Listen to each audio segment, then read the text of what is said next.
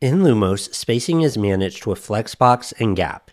If we were to try the old way of adding margins to elements, we can run into issues if we ever have a conditional element inside our component. Let's say this heading is hidden in some instances. Now we have extra space between the eyebrow and the paragraph because these two margins aren't overlapping.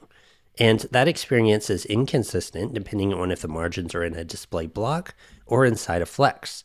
Inside of block, now these margins overlap, so we have a different experience. Also, if we were to add a new element to our component, that element doesn't automatically get the spacing of the component.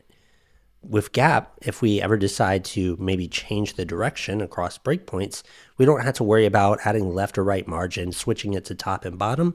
We can just adjust the direction freely. Now, this means we'll be creating lots of Flexbox layouts throughout our site, and each time we click to apply a new blue label, Webflow is adding a new line of code to our site.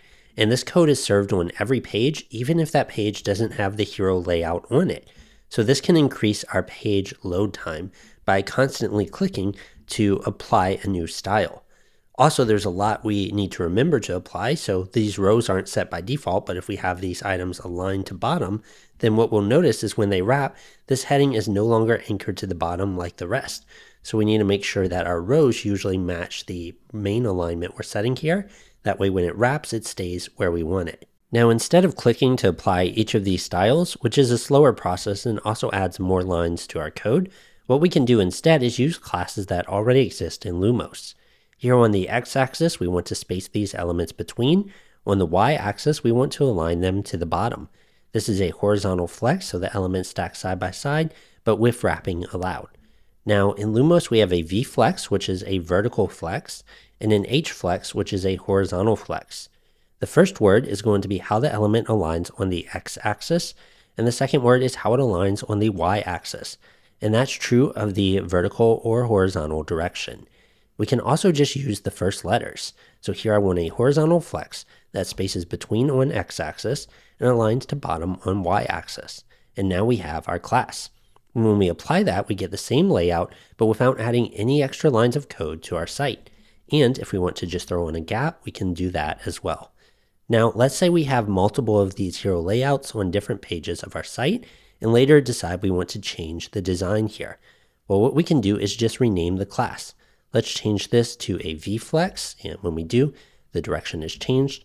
On this, let's say we want it to align to center on X, and let's also say align to center on Y. And now notice how that change applied across both instances of this layout. In fact, if we change the space to medium, renaming that class, update it both instances here.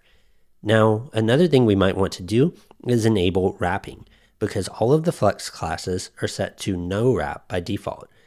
Now, if we want to enable wrapping, we can click. That'll add one extra line to our code. Notice how the row alignment matches the main alignment automatically though. Another option we can do is apply a wrap class. So we have an HFlex wrap and a VFlex wrap class, and this will maintain the horizontal direction with wrapping allowed by default, and then we can add our gap class on as well. And when we do that, these elements will just wrap. Now, if we ever run into an issue when renaming where Webflow says the class name already exists, we can just rename the class to something that does not exist and then add the word back in to change our alignment. If we need to override our alignment here on mobile, we can just click to apply these styles since there's no mobile specific classes. This will still use less code though than clicking to apply the styles on both desktop and mobile. And the changes we're making here aren't affecting every instance of this Flex class. They're only affecting the class when it's stacked on top the hero layout. And we can still rename this class freely to change our desktop styles, and the mobile styles will just be overridden like so. There's also styles for any of the Flex children. So here on Flex Children, we can set them to don't shrink or grow. We can change their order and there's utilities we can do as well called shrink or no shrink. And also for order, we have order utilities. We can move this to the first position, but that's a high level overview of the Flex system in Lumos.